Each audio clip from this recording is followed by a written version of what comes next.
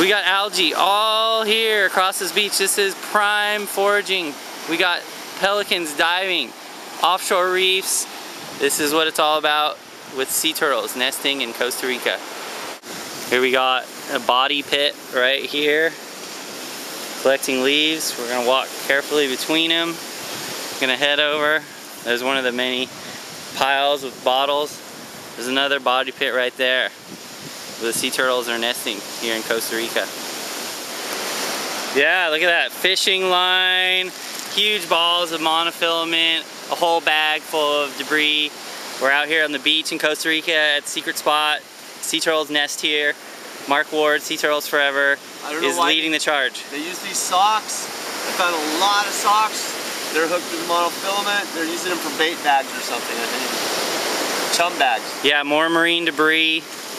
So to all the other researchers out there, put socks on your data sheet.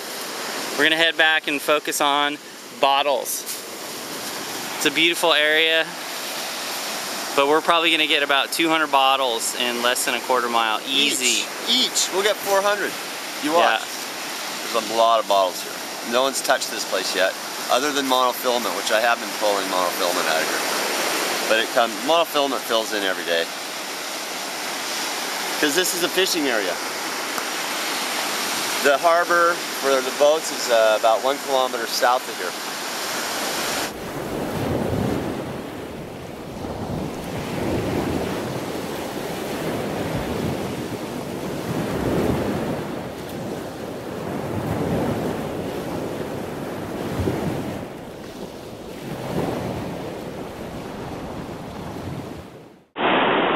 Costa Rica, Playa Cajones, Sea Turtle Nesting Beach with Marc Ward at Sea Turtles Forever. This is Chris Pincetich with the Sea Turtle Restoration Project.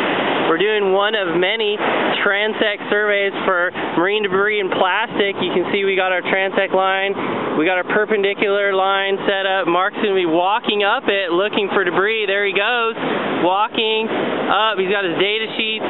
He's got his bag ready to collect anything he finds. He's taking his measuring stick, exactly two and a half meters. We cut that stick to do the draft protocol that's in development for official measurements. It looks like he's setting it down. He may be checking to see if some debris is within the range of the survey. We're going to be heading up this beach where over 50 sea turtle nests have been found over the years, mostly green sea turtles,